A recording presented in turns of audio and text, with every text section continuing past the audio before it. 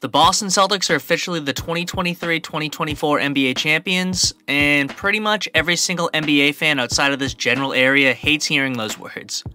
It was a long five year championship drought for the city of Boston, but the Celtics won it all, and Banner 18 has been won. Over the past couple months, the Boston Celtics team has gotten a ton of flack from NBA fans. People have been saying that this Boston Celtics team is lucky to have even made the championship, that they were bailed out by injuries to star players this team won 64 games, 7 more than the next best team in the league, and 14 more than the next best team in the East, but they were apparently lucky to make the finals. Every single season we got players getting injured, and teams aren't playing 100%.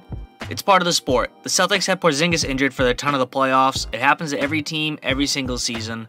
The Raptors in 2019, they beat a Warriors team without Durant and Clay. The Warriors in 2015 beat the Cavs without Kyrie and Kevin Love. There are countless examples of this throughout NBA history. All that matters in the end is which team wins the championship. While this Celtics team is the best this season, where do they rank all time is what I want to know.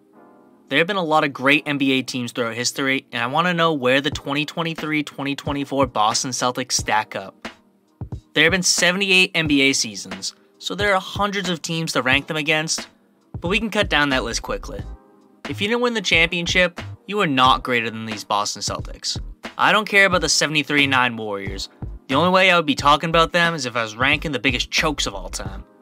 The famous motto from the 72 10 Chicago Bulls was, Don't mean a thing without the ring, and I'm taking that motto to heart for this video. So the 2024 Celtics are a top 78 team. That's really good. They're in the top 1% of NBA teams ever. Breaking down these top 78 teams, though, is not as easy to do. My original plan was just to rank teams by their winning percentage, and bam, you got your list right there.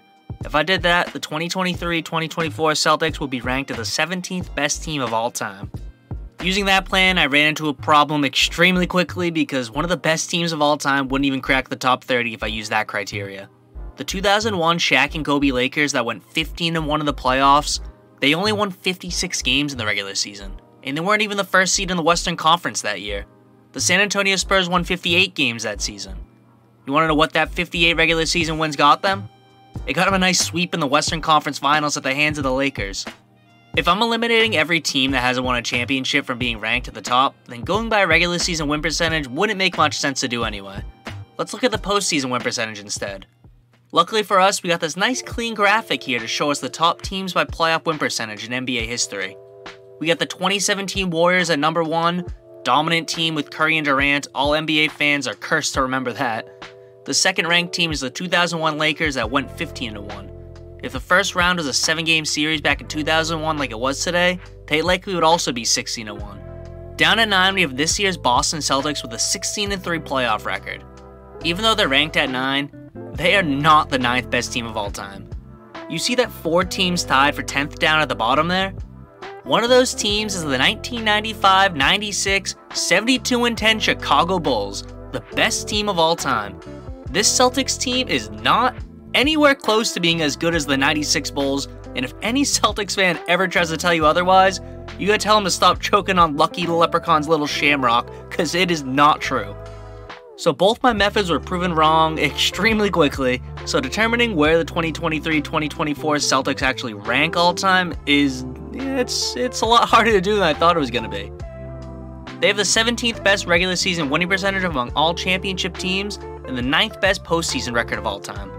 They also have the best offensive rating of any team in NBA history, but when all the top teams are from the 2020s, I don't know if that's really a good statistic to use, but it, it's still a fact.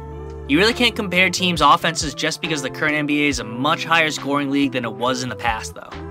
I think a much better statistic to go off is point differential. The 2024 Boston Celtics average point differential the regular season and playoffs was plus 10.72, the fifth best in NBA history.